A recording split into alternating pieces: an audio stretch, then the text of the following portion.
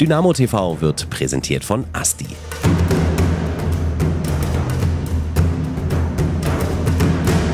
Hallo und herzlich willkommen zur Pressekonferenz nach dem Zweitliga-Heimspiel der SG Dynamo Dresden gegen den FC Erzgebirge Aue. Die Partie endete mit 0 zu 3. Ich begrüße alle Gäste in den Räumlichkeiten des DDV-Stadions sowie die beiden Trainer. Hier vorne neben mir Pavel Dotschew vom FC Erzgebirge und unseren Cheftrainer Uwe Neuhaus. Herr Dotschew, wie immer gehört das erste Wort dem Gast. Wie fällt Ihr Fazit nach dem 3 zu 0 Sieg hier in Dresden aus? Ja, ich denke, dass... Ähm Jetzt ist ja egal, was ich jetzt sage. Ich, ich kann jetzt, äh, ich habe immer recht jetzt, was ich sage, weil wir gewonnen haben und egal, was ich sage, ist richtig wahrscheinlich. Aber mir geht es äh, um was anderes. Die Jungs haben vorher auch sehr gute Spiele, sehr gute Leistung abgerufen und wir könnten uns nicht belohnen. Und heute haben sie das geschafft und äh, ich bin deswegen sehr, sehr froh darüber, dass die mir heute wieder geglaubt haben. Weil das ist, es gibt nicht was Schlimmeres für einen Trainer, wenn, wenn seine Mannschaft gut spielt und er verliert. Äh, und äh, heute haben wir es geschafft, gegen Dresden, gegen so eine Spitzenmannschaft, das zu überstehen. Wie das Spiel, das Spiel verlaufen ist, ist, das habt ihr alle gesehen. Also erste Minuten haben wir unheimlich viel Druck gehabt, mussten wir das überstehen. Mir war auch klar, dass wir im Laufe der Zeit mehr vom Spiel kriegen werden.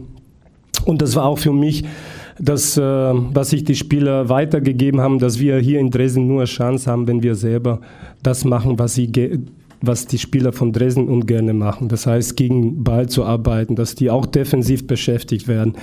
Und ähm, das ist uns im Laufe der Zeit sehr gut gelungen. Wir haben das Spiel immer besser im Griff gehabt, bis auf die auch letzte paar Minuten vor der Seite wechseln, da waren wir am Schwimmen, da waren wir nicht mehr so organisiert, nicht so gut äh, ähm, gestaffelt und der, der, Druck wurde immer größer. Für mich war auch wie, äh, größer und deswegen war auch wichtig, dass wir die Halbzeit retten. Dann könnten wir in der Halbzeit noch ein paar Korrekturen äh, machen, so wo, wo, die Fehler waren, wie wir anlaufen. Stefanian hat sich sehr gut äh, verhalten. Der hat immer Fabio aus, dem aus der rechten Zone rausgezogen, hat Platz geschafft für, für äh, Fabio Müller.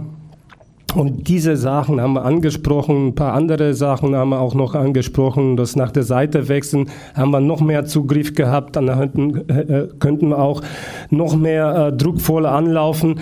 Und ähm, denke ich auch durch Standards auch, ist auch nicht gerade selbstverständlich gegen so große Innenverteidiger uns äh, noch so zu präsentieren, machen wir 2-0 und ich glaube, der Schock war etwas groß für, für die Spieler von Dresden. Dann, was erfreulich für mich war, dass nach dem 2-0, dass wir weiter nach vorne gemacht haben, diese Laufwege. Und dann haben sie diese Fehler pro, provoziert und das war 3-0, denke ich, schon zum Teil schon entscheidend, entscheidende Szene. Und ähm, danach haben wir verteidigt nur natürlich. Die Mannschaft von Dresden hat nichts mehr zu verlieren gehabt, haben, haben sie Kutschke gebracht, haben sie Langbälle gespielt. Das mussten wir natürlich retten. Das ist nicht einfach. Wir haben kleinste Mannschaft in der Liga, denke ich. Trotzdem haben sie gut gemacht und unterm Strich denke ich, wie das Spiel heute verlaufen ist, ist eine verdiente Sieg. Könnte aber genauso umgekehrt sein, dass wir wieder gut spielen und verlieren. Also nochmal, Endergebnis sehr glücklich, freue ich mich sehr und gegen Dresden hier zu gewinnen ist einfach spitze für uns. Hier hat selber ähm, RB Leipzig hat hier Probleme gehabt und die Maschine der Bundesliga durch, also was soll man mehr dazu sagen. An Uwe und an Dresden wünsche ich vom Herzen alles Gute und äh, viel Erfolg. Dankeschön. Herr Deutsche, vielen Dank für Ihr Fazit. Uwe, wie fällt deins aus nach der Niederlage?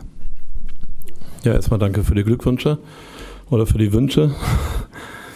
Also ich wehre mich so ein kleines bisschen dagegen. Ähm, dann würde jetzt alles, was ich sage, falsch sein. Da wehre ich mich vehement. Ja, vieles hast du ja schon gesagt. Ich glaube, dass wir, und das war auch eigentlich unser Ziel, ähm, auch sofort unter Druck setzen wollen. Vielleicht durch ein frühes Tor ähm, den Glaube an einen Sieg äh, von Aue noch kleiner machen ähm, mit den letzten Spielen, wo du, wie du gesagt hast, wo ihr richtig gut gespielt habt, leider keine Punkte eingefahren habt.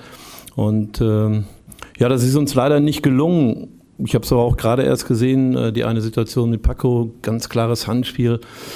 Ich finde, der äh, Assistent an der Linie muss, muss es äh, hundertprozentig sehen. Aber es ist nun mal so. Und dann haben wir so ein bisschen den Faden verloren, ähm, haben den Druck nicht aufrechterhalten können. Äh, dann hat Aue zwei sehr gute Chancen gehabt und mit der dritten Chance diesen abgefälschten Schuss. Sicherlich ein bisschen glücklich, aber äh, manchmal ist es halt im Fußball so und das äh, haben wir dann auch versucht sofort zu korrigieren, haben Druck entwickelt, haben noch eine gute Phase vor der Halbzeit gehabt. Äh, ist uns äh, leider auch, weil wir da muss ich da eine kleine Mannschaft ansprechen, die es äh, richtig gut gerade bei den Standardsituationen gemacht hat. Sowohl in der Defensive als auch in der Offensive. Standards von Aue waren immer gefährlich, also es immer ein ungutes Gefühl. Und die haben deutlich zu wenig rausgemacht, war überhaupt keine Torgefahr. Und ähm, das war sicherlich auch, auch ein Grund. Und in der zweiten Halbzeit wollten wir natürlich nicht sofort volles Risiko gehen. Wir wollten schon Druck machen, ihn stetig erhöhen. Und die Wechsel, die waren ja auch in der Halbzeit schon angesprochen, wenn sich bis zur 55., 60. nichts, äh, nichts tut, dass wir ähm, nicht ins Spiel reinkommen, dann werden wir diese Wechsel machen. Und als ich die beiden schon äh, rufen wollte, folgt das 2-0 nach einer ja, miserabel verteidigten Ecke von Aue. Ähm, so, und dann habe ich sie zu mir geholt und dann habe ich das 3-0 habe ich gar nicht so richtig mitgekriegt. Das darf natürlich nicht passieren. Also so einen Fehler darfst du nicht machen. Selbst mit dem 0-2 noch über 30 Minuten zu spielen, kannst du noch einiges ausrichten. Das haben wir schon oft genug bewiesen. Und das 3-0 war natürlich für die Mannschaft vom Kopf her recht schwierig, damit umzugehen. Und trotzdem kann ich hier keinen Vorwurf machen. Es war dann sicherlich kein fußballerischer Leckerbissen, haben versucht, äh, auch mit langen Bällen nach vorne zu kommen. Das haben wir nicht so schlecht gemacht. Äh, hatten dann in der weiß nicht, 61. Minute, glaube ich, äh, von Marco Hartmann die Riesenkopfballchance, da nochmal 30 Minuten zu spielen. Ähm, Im 3-1 äh, gibt es nochmal Rückenwind, dann ist alles möglich. Aber ich glaube, das war dann auch typisch für dieses Spiel, dass wir ja da heute kaum Chancen hatten, dieses Spiel für uns zu entscheiden, wenn wir die, die klaren Möglichkeiten nicht machen. Ähm, ja, es ist bitter, es tut auch weh, aber wir haben nicht lange Zeit, darüber nachzudenken. Werden wir morgen abhandeln und dann geht es auch äh, unmittelbar danach mit der Vorbereitung auf Kaiserslautern los. Äh, schwer genug das Spiel und die englische Woche am Sonntag hier mit dem Heimspiel Würzburg. Äh, da haben wir schöne Aufgaben, auf die wir uns konzentrieren müssen und deswegen wird es morgen abgehandelt. Danke. Uwe, danke dir für deine Analyse. Jetzt ist Zeit für Ihre Fragen. Wenn es welche gibt, dann bitte ich um ein kurzes Handzeichen. Dann kommt Frank Schmidt mit dem Mikrofon zu Ihnen. Vielleicht Ihren Namen und das Medium, für das Sie arbeiten. Thomas Nahrendorf, Chemnitzer Morgenpost. Herr Deutscher, wie geht es Ihren beiden erkrankten Spielern? Äh, das weiß, ja, ja, ich weiß welche. Ich weiß, äh, äh, ich weiß es nicht, weil nach dem Spiel habe ich keine Zeit, mich äh, darum zu kümmern. Niki Adler ist in der Kabine, ihm geht schon äh, besser und bei Clemens Wandrich weiß ich wirklich nicht. Also ich weiß, dass er entlassen worden ist. Das war meine letzte Information unmittelbar vom Anpfiff. Äh, ich denke schon, dass er jetzt äh, zu Hause ist und wir werden morgen oder heute Abend Kontakt aufnehmen, aber kann ich jetzt wenig dazu sagen. Weitere Fragen?